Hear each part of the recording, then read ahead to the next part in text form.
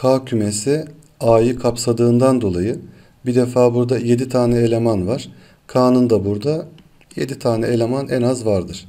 Dolayısıyla 7 elemandan başlar 13 elemana kadar gidebilir. Çünkü B'ye de eşit olabilir. Eşit olduğu zaman bir küme bir, kümesi, bir kümeyi yine kapsar. Dolayısıyla arada 6 tane fark vardır. 7 olabileceği gibi 8, 9, 10 şeklinde de gidebilir. Aradaki 6 farktan 6 eleman demektir bu. 200 ise 6, 64 tane farklı durum ortaya çıkar. 64 tane farklı K kümesi yazılabilir.